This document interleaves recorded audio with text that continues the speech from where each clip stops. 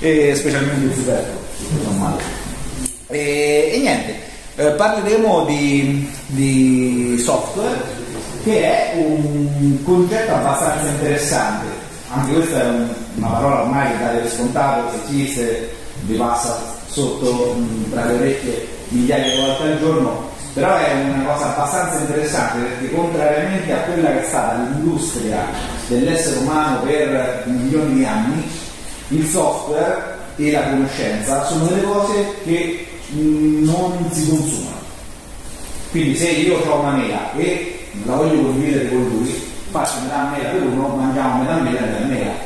Essenzialmente se ci basta bene, ma se no tutte e due cioè, abbiamo fame. Okay? Quindi quando si parla di risorse materiali, queste risorse materiali sono finite e abbiamo costruito tutta una civiltà proprio sullo scambio di risorse con tutte le conseguenze del caso, guerre, eh, su bruci, economia e tutto, e tutto il resto. La conoscenza è una cosa interessante perché quando la condividiamo, quella conoscenza non è più metà conoscenza dell'uomo. In realtà la somma delle conoscenze che abbiamo condiviso è più di quella originale. Quindi se va bene, ognuno di noi a quel punto ha acquisito la conoscenza dell'altro, ma insieme probabilmente queste due conoscenze sono superiori a quelle iniziali perché vanno in, collaborazione. Quindi diciamo sulla definizione di software io direi che possiamo anche andare avanti, tanto insomma più o meno, eh, più o meno eh, spuntata. Il problema è quando parliamo di software libero, che poi in realtà in inglese molto spesso si parla di software, ma il concetto italiano free a noi ci passa per libero e gratis.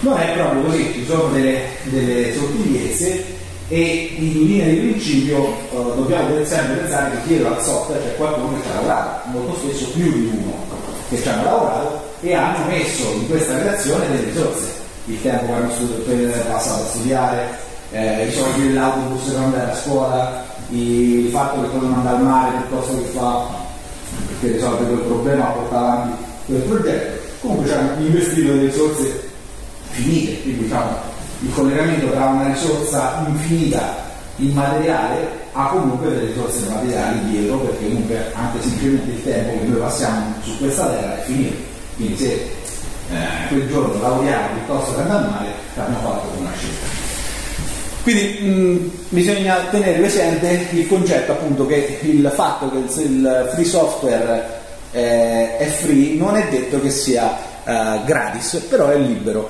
eh, adesso magari cercheremo anche di andare un pochino avanti e capire quali sono eh, i concetti base di, di questa cosa. Eh, noi tendenzialmente cerchiamo di far passare eh, queste, questi dogmi, questi comandamenti sul free software che racchiudono un po' tutta la filosofia che sta dietro a questa cosa che è nata appunto insomma intorno agli anni 80, 86 se non sbaglio, forse qualche anno prima, eh, tendenzialmente dal lavoro iniziale di un personaggio un po' strano sempre c'è Stallman, che poi eh, incontreremo in fotografia. Allora, la prima libertà, la libertà zero, che secondo me è molto interessante, magari eh, vorrei coinvolgervi eh, su, su questa considerazione. La libertà zero è la libertà di eseguire il programma per qualsiasi scopo, qualsiasi. Questo significa che questo qualsiasi è indipendente da considerazioni anche di carattere morale o economico. Vi faccio notare una cosa. Durante il conflitto adesso, cioè questo tragico conflitto in Ucraina, il, um, ovviamente si scontrano due grandi superpotenze, la Russia da una parte e essenzialmente gli Stati Uniti da quell'altra, fanno i loro interessi, noi stiamo un po' in mezzo. Ovviamente eh, se voi state in Ucraina e utilizzate il GPS, eh, lo utilizzerete con una precisione molto inferiore rispetto a quella che utilizzerete qui. Perché il GPS in Ucraina in questo momento è criptato e quindi diciamo maggior, è composto da stringa da ehm, di stringhe che pian piano raffinano la posizione. Le ultime parti, quelle che danno la precisione di 30 cm mediamente, sono, erano fino a poco tempo fa ristrette all'ambito militare, quindi militare americano o NATO, quindi essenzialmente ristretto a quel blocco di potere. I russi hanno un altro sistema, GLONASS, che più o meno funziona nello stesso, nello stesso modo. Vabbè, poi un giorno magari fanno anche una chiacchierata su come funziona il GPS.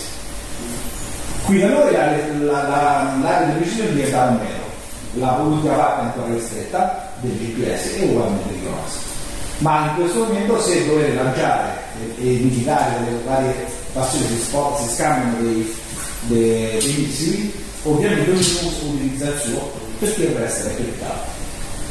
In linea di principio quindi quella tecnologia, anche se noi l'abbiamo liberamente quando utilizziamo il navigatore di Google Maps, eccetera, eccetera, e quindi diciamo ci, ci va bene, non è libera, è condizionata a quello che decidono altri nel caso invece del free software nessuno ci chiede di giustificare il motivo per cui noi utilizziamo quel software. Noi possiamo utilizzare come ci pare.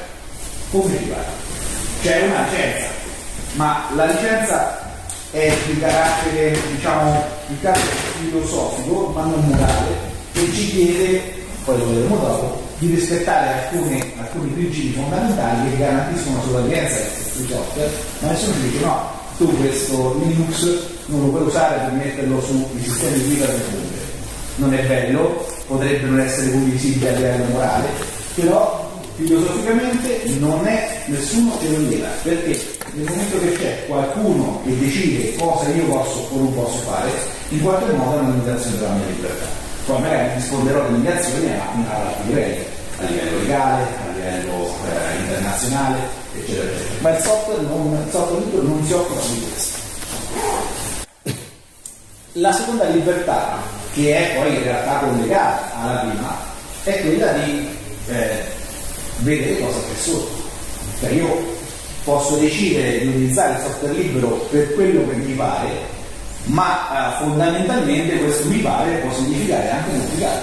E quindi voglio vedere cosa c'è dentro e quindi significa avere a disposizione il soggetto del sito. Quindi la, non so se avete mai lavorato con un Arduino, microcontrollore o qualcosa del genere, non so se avete sempre queste schedine perché tu ci attacchi una serie di sensori no, in direzione uscita, il codice esadecimale che gestisce il microcontrollore sta dentro l'iPhone del microcontrollore. Voi potete tranquillamente mettere le sonde e tirare e fare il dump del codice che sta dentro il microcontrollore. Però leggete essere rimane molto difficile da interpretare. Si fa però è molto difficile. Quindi in linea di principio quasi tutto il software che gira nel mondo e quasi tutto anche l'hardware molto spesso l'hardware è controllato da una, una parte di software che c'è nel mondo lo potreste tirare giù e leggerlo. Però è molto difficile perché comunque primo non vogliono, tendenzialmente non si vuole che voi eh, sappiate come funziona la vostra lavastoviglie, perché se dopo sei mesi, a due giorni dopo la scadenza della, della garanzia della lavastoviglie, quella decide che dovete comprare un'altra lavastoviglie, se voi siete capaci di andare a leggere nel software, vedete qual è il problema, lo risolvete e c'è la lavastoviglie nuova. Ovviamente questa cosa non si vuole. Ma dall'altro c'è anche un problema di di Iris, tendenzialmente è più facile leggere un software scritto if uh, numero lavaggi minore di 500 then inizia lavaggio else uh, l'ambiente luce rossa e blocca tutto più facile che non andare a vedere magari 50-60 righe di codice esadecimale quindi il software libero deve sempre mettere a disposizione il, il software il soggetto del programma. La libertà 2, ricordiamo che siamo partiti da zero, quindi questa è la terza libertà. La libertà di ridistribuire copie del software per qualsiasi motivo, che è un po' legato al primo, ma è molto, di, eh, diciamo, molto lontano da quello che era l'attuale diciamo, situazione del software a livello globale. La maggior parte di voi giocherà con i videogiochi, sarà una console, qualcosa del genere, no? Uh, PlayStation 5, Xbox, eccetera. Quanti di voi scarica i giochi eh, online piuttosto che comprare giochi fisici? Perché costano meno? Eh, qual è il problema?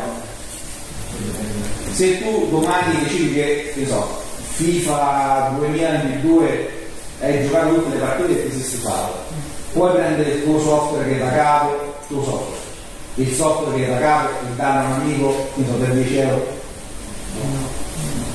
Se tu c'hai il DVD, lo vendi e quindi c'è un ricco mercato di usato cosa che ovviamente non vogliono, perché loro in questo modo a due persone vendono un prodotto a 20 euro, mentre prima magari ne vendevano una a 30 e l'altra a 5, cioè loro comunque guadagnano 30, non 40. Quindi l'azienda Microsoft, Sony e tutto il sistema economico dietro non vuole che voi abbiate accesso al software, anche se poi non lo vedete dentro, ma voi dovete perdere completamente il controllo del software deve solo essere l'utilizzatore e pagare. Invece, in questo caso, lui sta in un posto, magari so, una casa a un metro da dove arriva la DSL, quindi lui accesso a internet magari non ce l'ha. È un suo che abita due case prima, che ha la DSL, quindi funziona. A lui gli serve il LibreOffice perché deve lavorare la resina, lui è tranquillamente autorizzato a livello legale di scaricare LibreOffice, che è un software libero, mettere dentro una navetta, passarlo, lui lo carica sul suo computer e lavora. Quindi lui non ha avuto nessun problema, sono amici, quindi gli ha fatto tranquillamente un favore, però ha risolto il problema lui, perché è un software. Voleva fare la stessa cosa con Word, lui scaricava internet Word pirata, Office pirata, glielo dava a lui, incrociavano nel frattempo la fattura di carabinieri e gli dicono che c'ha la pratica Word, dove sta la licenza? Non ce l'ho, è in russo, perché la frequenza del flusso è perché ho scaricato da internet. Va bene, eh, se sono minorenni chiamo un genitore, se sono maggiorenni vanno dei quindi insomma c'è una, una, certa differenza di approccio. E specifichiamo che c'è il penale. C'è anche, insomma, ci stanno anche eh, aspetti penali no? probabilmente non, non, andrà, non, andrebbero per due ragazze del liceo a mettere sul stampare però i miei ma non lo so. i miei PG potrebbero. Mentre effettivamente avete tutto il diritto di avere a disposizione uno strumento che vi possa, vi possa permettere di fare la vostra vita di studente, di scrittore, perché magari a uno gli piace scrivere, di fumettista perché gli piace disegnare, musicista perché gli piace suonare. E in linea di principio dagli anni 80 in poi il software ha fatto un passaggio dal mondo del codice per far funzionare una macchina a un problema è diventato quindi la okay. e sta anche stato il creatore diciamo di questo quello che non voleva andiamo a vedere la libertà 3 ok.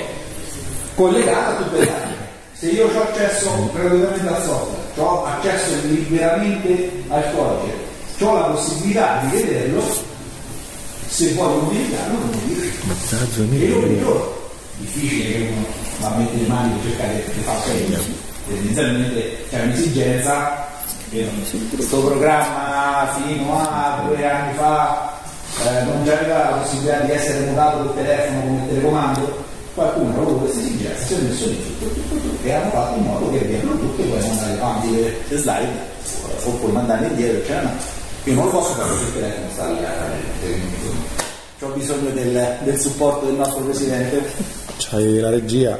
C'ho la regia. Beato a te. Questo è fondamentale e era più o meno scontato nel mondo scientifico fino ai primi del Novecento.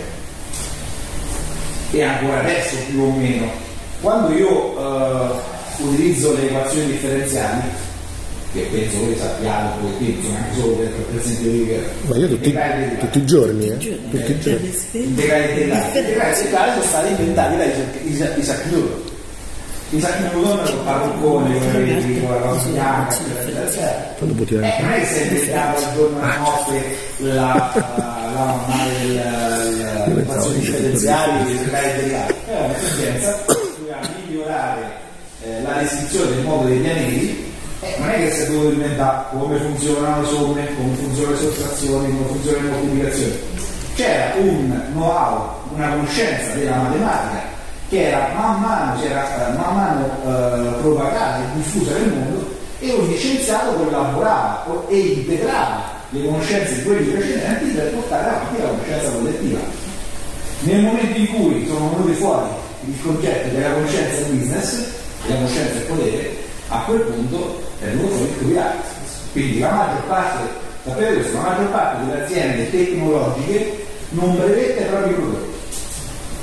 Perché nel momento che brevetta il prodotto, dopo 20 anni dal, dal deposito del brevetto, gli altri hanno accesso alle informazioni del brevetto, cioè l'accesso c'è subito che viene presentato il brevetto.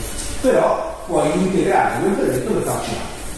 Se io non lo proteggo, ovvero non lo pubblico, rimane nella cassaforte dell'azienda e quel know-how me lo porta avanti per 50, 100 anni, 200 anni e vendo quel prodotto che gli altri non possono copiare perché io ricevo il giudizio per plagio. Non lo potete evitare, potete brevettare. No, cioè, sono due cose differenti. Noi ma sta copiando una cosa, è, è identica alla mia, l'ha rubata, è entrato nei sistemi, tutta una serie di cose, però invece la scienza è andata avanti l'idea, è andata avanti con la condivisione della conoscenza, perché Newton non si è dovuto reinventare la ruota per poter inventare il calcolo differenziale. E eh, direi che secondo me dovrebbe essere vietato il copyright, però lasciamo, lasciamo, lasciamo perdere. Ok, quindi si parla di software libero se gli utenti, noi, utenti significa anche coloro che fanno le cose, e non solo quelli che utilizzano, perché utilizzarlo significa anche migliorarlo e migliorarlo per i propri scopi. Devono avere tutte queste libertà, altrimenti non è software libero. Allora, falsi miti sul software libero. Allora, domande? Qualcuno vuole? C'è un dubbio, una domanda? Va bene, andiamo avanti. Il software libero è gratis perché vale di meno. Perché? È intrinsecamente vero questa cosa, in questa, questo tipo di, diciamo, di processo creativo in cui io miglioro quello che qualcun altro mi ha messo a disposizione è necessariamente vero che il software gratuito è migliore di quello, vero, di quello commerciale? Mm, di solito no, perché quello commerciale oddio c'è un, un, pool di sviluppo di centinaia di persone che potrebbero essere anche centinaia di produttori, quindi insomma non è necessariamente detto che siano centinaia di generi. Oppure spesso dietro magari c'è uno, due, tre persone a portare avanti questo software e dei lavori. Io vi posso assicurare che ho comprato del telefono un'applicazione di una macchina fotografica professionale, quindi la possibilità di fare esposizione, eh, mettere a posto i colori, cambiare il gruppo colore, eccetera, ho pagato poco, un paio, un paio di euro mi sembra, perché era un'offerta, però quindi lo sviluppo, lo, lo sviluppatore si è stato, quindi lì pieno di buchi, che tu ci attacchi un microfono esterno se scappa se scappa quello comprato per quello il microfono esterno invece magari questa applicazione se fosse stato open qualcuno avrebbe potuto continuare quel progetto perché quello si era stufato portarlo avanti integrare il bar mettere altre, altre, eh, altre mh, funzionalità. In pratica nella maggior parte dei casi il software libero ha capacità equivalenti o superiori molto spesso una equivalenza 1 a 1 con le funzionalità del software proprietario, standard di sicurezza affidabilità superiori, quasi sempre superiori alla maggior parte dei, software eh, commerciali. Perché? Perché possono c'è dentro. Quindi io, se dovessi gestire un'azienda enorme, prima di eh, pensare a un firewall, quindi una cosa fisica, l'ingresso e uscita dalla mia rete verso l'esterno, proprietaria, io andrei a vedere se ho la possibilità di mettere qualcosa di discorso. In primis, perché se un giorno eh, c'è qualcuno che dice che il mio, che il mio paese eh, è in guerra con quello che ha fatto il, il firewall, potrebbe decidere di entrare nei sistemi semplicemente perché obbliga quello del firewall a dargli l'accesso. Secondo, perché è un profilo degli individui non sono stati tanto il fatto di è assolutamente sicuro vedere le nostre serie buone. Andiamo, ok. Eh, il software libero è tutto gratis? No, con il software libero si può fare business e poi magari, dopo magari facciamo, facciamo qualche, qualche esempio. E spesso si, eh, non si pagano licenze.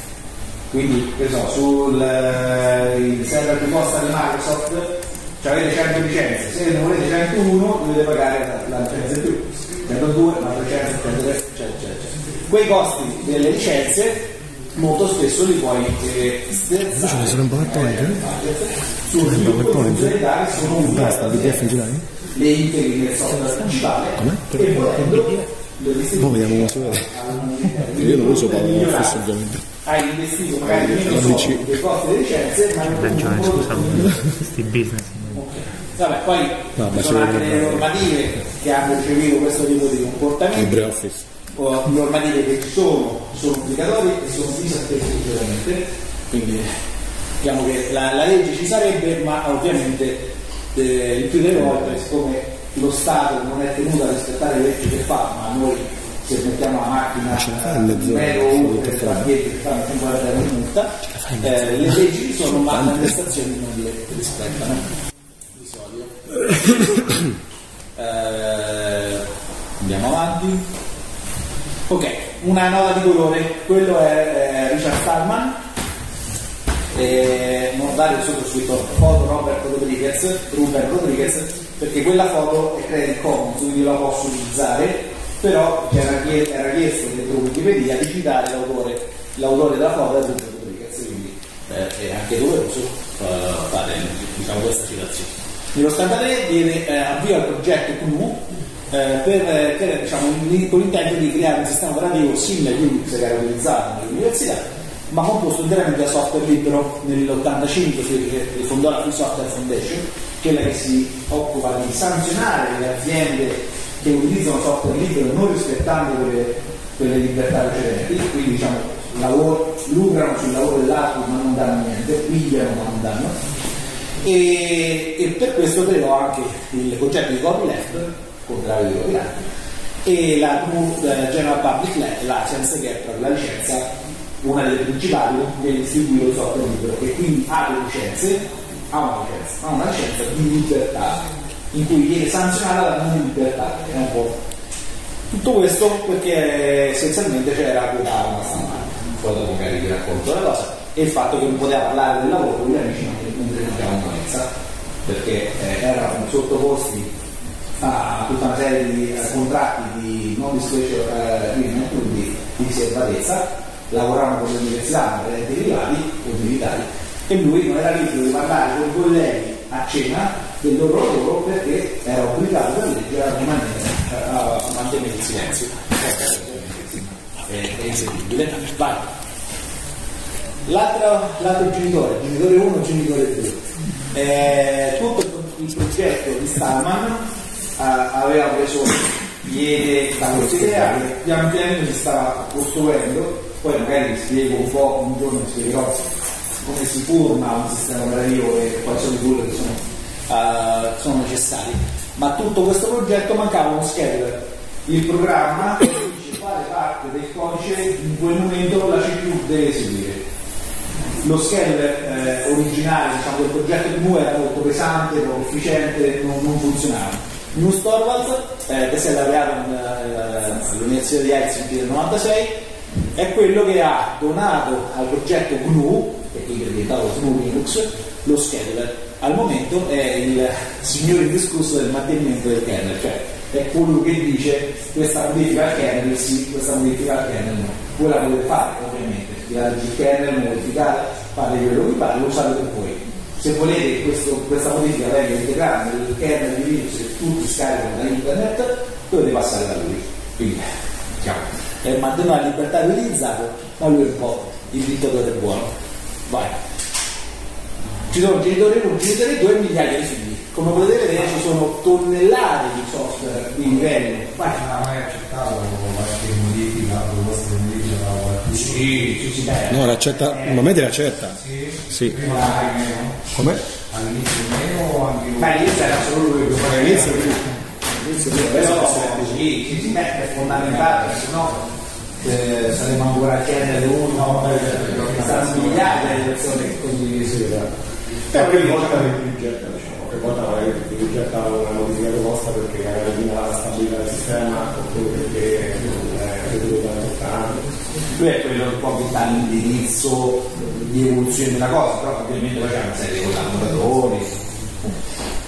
Nomi per tutti, Apache, server web, Kubernetes, il gestore dei cluster, le distribuzioni Debian, Ubuntu, le- le- sicuramente come sentite, OpenJDK che è l'interprete Java eh, open source, eh, mm, PostgreSQL, eh, server di database, PHP, probabilmente se voi andate a guardare questa, questa slide in cui ci ho messo alcune la metà le conoscete, avete nominato o nei prossimi anni le, le, le conoscete sicuramente vuoi? domande e risposte? domande? Nessuna domanda? andiamo avanti io Vai. vai vai vai riguardando le diciamo, discussioni parlare Sì.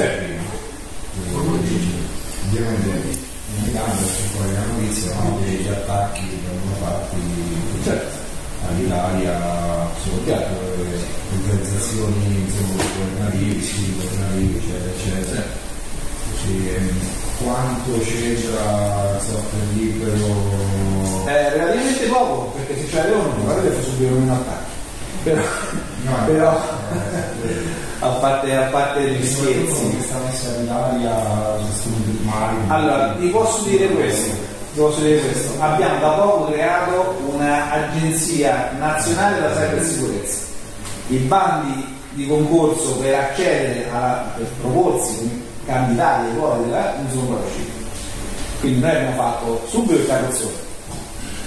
Poi quelli che ci devono lavorare veramente eh, spero che vi, sia stato vi sia piaciuto. Se poi alla fine insomma abbiamo tempo o la possibilità se avete domande grazie. Ciao